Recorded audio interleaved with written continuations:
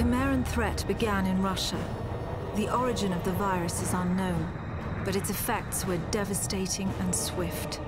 In the 1930s, reports of biological experiments began leaking out of Russia.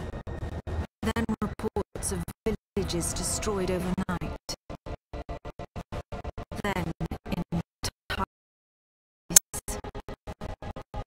we feared the Russians had developed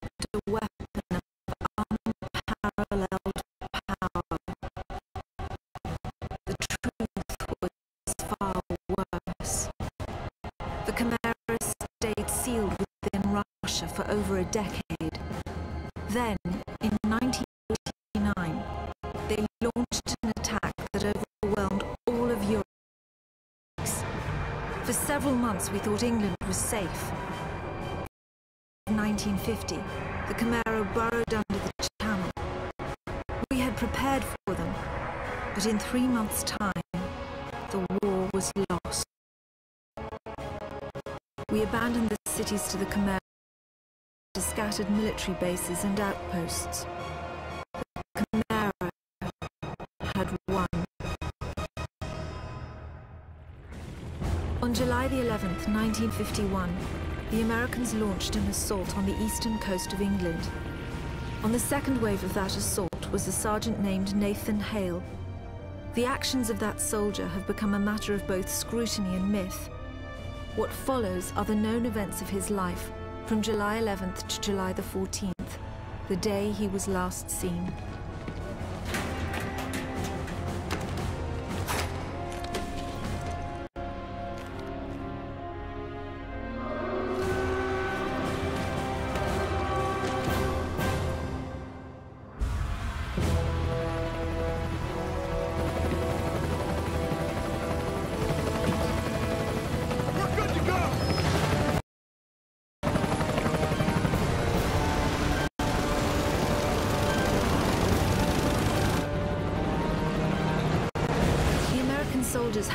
Idea what they would soon be facing. The US 1950. Radio waves and newspapers became state property. Only the highest levels of their government knew the truth. The operation was an exchange. The Americans were bringing supplies and tanks into York. We were giving them our one secret weapon, something we could offer that they couldn't build themselves. I was the commander of the convoy team that was to meet the US soldiers. We were ambushed in Manchester on the way to the rendezvous. There was no way to warn the Americans. They were on their own in York, fighting an enemy they knew nothing about. We never learnt exactly what happened there. All we know is that Nathan Hale was the sole survivor. No!